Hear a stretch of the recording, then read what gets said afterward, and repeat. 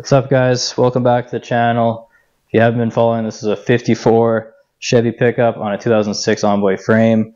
We just installed air ride and we had major problems and the only real problem was me. I screwed up.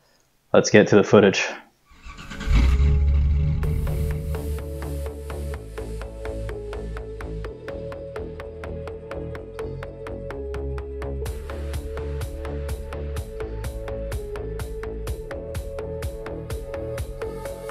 Welcome back to the channel. If you're new here, this is a 54 with a 51 front end Chevy 3100 sitting on a 2006 GMC Envoy chassis. Last episode I was showing I was having issues fitting the wheels and the uh, the air ride suspension. As you could tell, this is a different wheel than last episode. I had the aluminum wheels on before. Um, this is the actually the Envoy spare tire, so it's the six lug, the worst bolt pattern there is. There's only for Envoys. Anyways, it fits and it fits pretty good. I didn't realize between the aluminum and the steel wheel that the offset is that much different. Um, about swapping the hubs to S10 in the back, I'd have to get custom made axles. Uh, I'd have to custom drill rotors and everything, make it all work, just so I could fit a five lug from an S10 or Camaro, Corvette, whatever, five lug. Um, I don't have to do that now. Saves me tons of money. I originally wanted to run a Steely on this. I knew it had to be a 17 at least because of the brakes. And uh, these ones are, I kind of wanted a smooth Steely, not a winter tire Steely, but it is what it is. Saves me a few grand. I'm happy about that. Definitely trying to keep things on a budget here. I found four of these on Facebook Marketplace. They're uh, in Winnipeg, a few hours away from me, where my parents live. So my dad went out and grabbed them for me. Four rims for 100 bucks. So uh, shout out to Studo for picking those up for me. And uh, they're going to look pretty good, I think, hopefully. Um, I'll do a nice center cap, white wall tire, maybe a beauty ring. We'll see what I end up doing with the powder coat options. Um, and we'll see what we end up doing for paint as well. I ordered a lift kit to try to solve my issue about not getting enough lift so I can't turn. Uh, it was advertised as a 3 inch lift kit for an Envoy, and it showed up and it's like an inch and a half and then I started reading the fine print, and with the suspension geometry, then it gives you three inches of lift. But I need that actual three inches spacer. Um, so I have another one. It actually just showed up like an hour ago. So I'm gonna slap that in to start, and uh, we'll go from there. Hopefully, hopefully we could turn.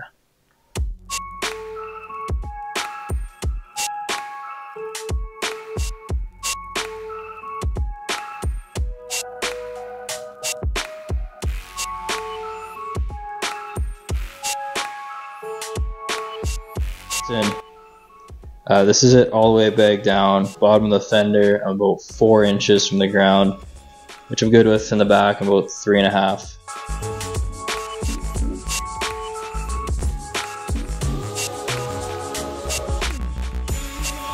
I'm fully aired up right now, fully cranked, and it's just barely touching. Like it's, I could run it. But obviously this is fully aired up, suspension travel is pretty minimum. So I'd like to lose about 20 pounds PSI and then be able to fully turn. Uh, I don't know. I might be cutting up these fenders that I don't want to do. But it's tight. Even if I hit a bump and I'm turning this fender's fucked. So I'm going to try cranking it the other way. Make sure there's no other issues.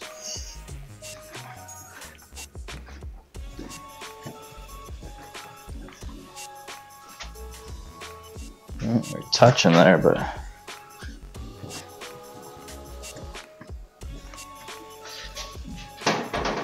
we're just barely touching.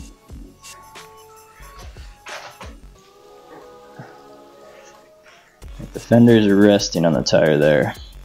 Just barely, fuck. But once again, this is fully aired up, which I don't like. I think I might be reshaping this fender. I kind of got two options of screwing with these fenders. If I could, I think easiest would be re-radius this and bring it like an inch up, maybe two. I think I could do a pretty good job of it, but I don't really want to change the appearance. I also could you know, cut it along the flange, move a hole outside of the fender out an inch, weld in a flat piece all the way around. But then, is the front gonna be wider than the back? So I've literally just been sitting here staring at this thing for the last hour probably. I just don't believe that that is all the lift that bag is by. Like that's like two and a half inches of lift. So I'm gonna take this strut right out, put it on the bench, leave the air hooked up to it, and really start testing it because I think I think it should be able to lift another three or four inches, which would solve all my problems. So I don't know. It didn't really come with instructions. Maybe I set something up wrong on the top hat. I don't know. I just need to experiment more because if I could get more lift out of this bag, it will solve all my issues without cutting fenders. Okay, I got the strut out, and with no weight on it, it comes all the way down. The shock itself still has some extension to it. So realistically, my bag should come all the way up and bottom out that shock. But when it's in the car, it's not doing that. So let's put some air to it, see what's happening here.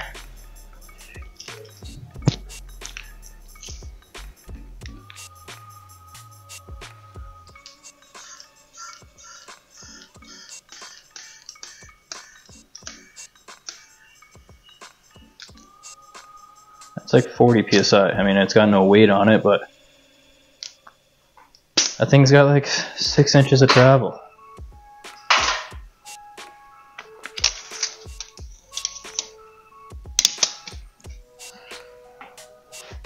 Right there, this thing is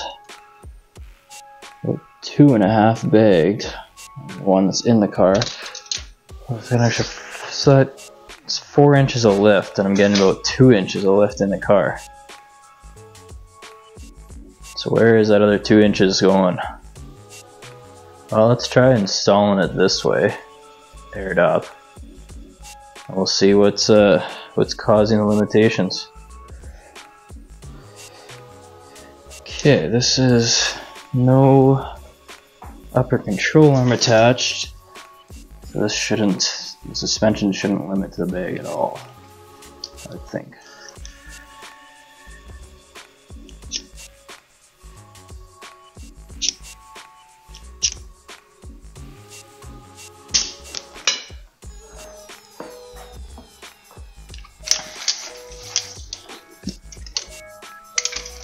That's six inches. That's pretty similar to what it was on the in the vise. Is limiting it not doing that in the car here?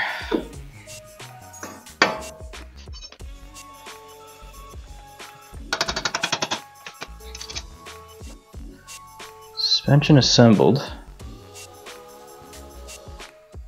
Put the wheel on. Let's throw it on the ground and cycle it.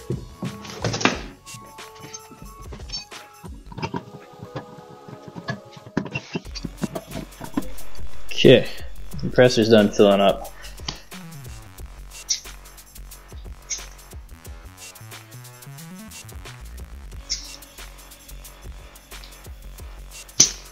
yeah, so all it takes is 80.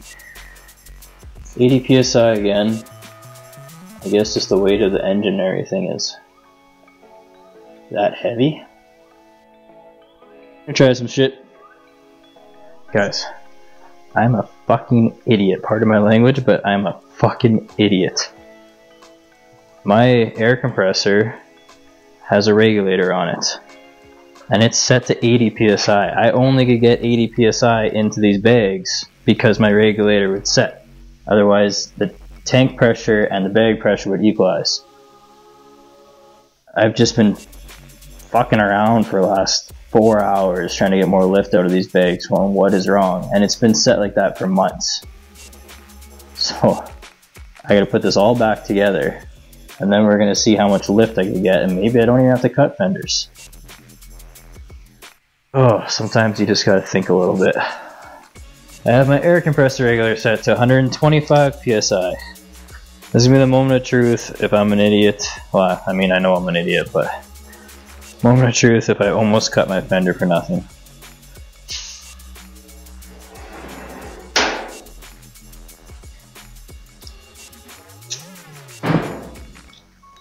Already past 80.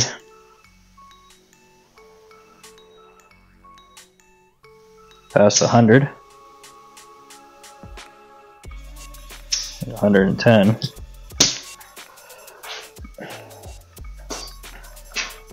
Oh my god, I'll be able to turn no problem. So, oh, oh my goodness. This changes everything.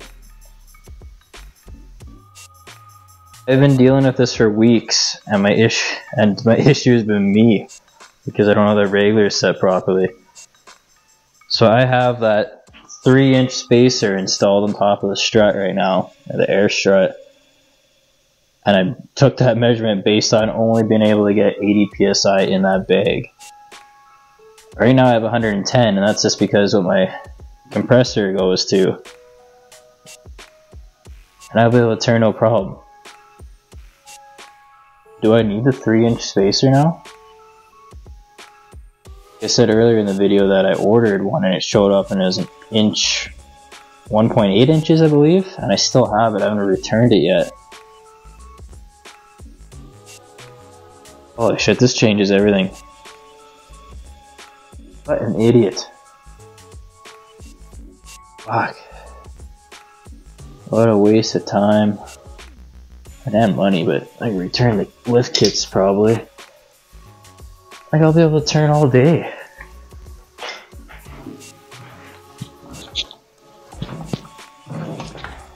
There's no, oh my, fender gap, ah.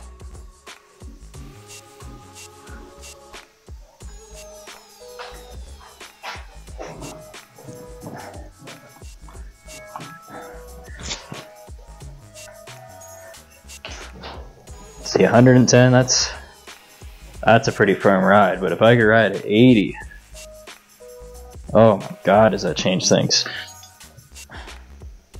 Oh my god, I can't get over how much lift this has now. I've been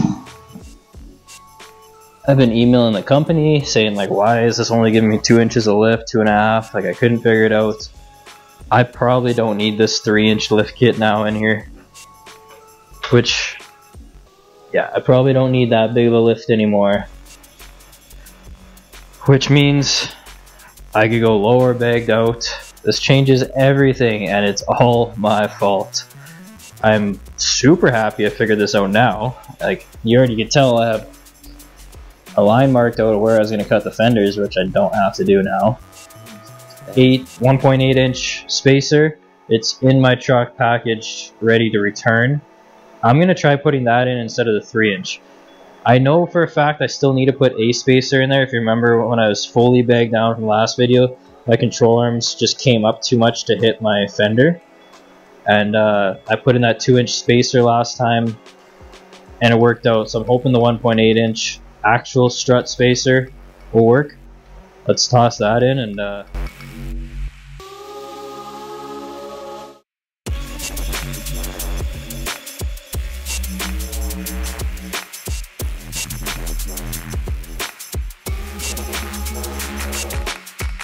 Okay, this is with the, we're to call it 2 inch, it's the 1.8 inch spacer in there. And 120 psi aired up.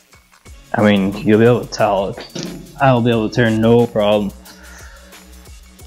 So, let's put this down to, I think 80 should be a decent ride height.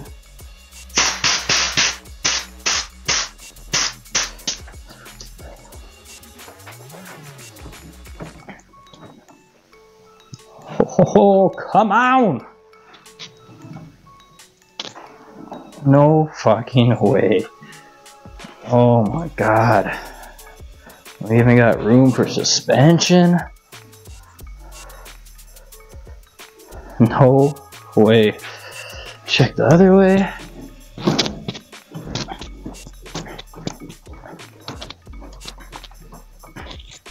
Oh my god. Let's see how low you go. How soft can we ride this?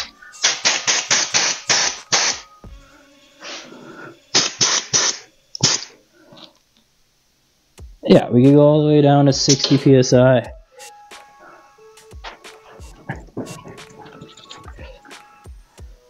Fucking did it. We won.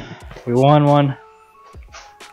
Alright guys, I got lots of hours into this video and I apologize because I really didn't do anything. I just screwed around because of my screw up. Uh, it's finally solved. I am super mad at myself that I made this mistake, but I'm also excited that it's solved and it was only a mistake on my end and not the truck.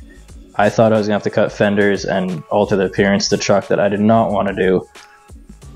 I was trying to avoid everything and I'm I was very close to cutting and I'm super glad I never did. Would have been such a piss off if I would have cut them, did everything fully done whatever truck painted and then I put air compressor and tank and whatever everything in here and all of a sudden it lifts four inches higher than was expected would have been pissed but glad we caught it in time it's too bad but Sometimes that happens when you're hot rodding. Anyways, everyone, if you haven't subscribed yet, please subscribe. It helps the channel more than you know. And uh, we'll catch you on the next one.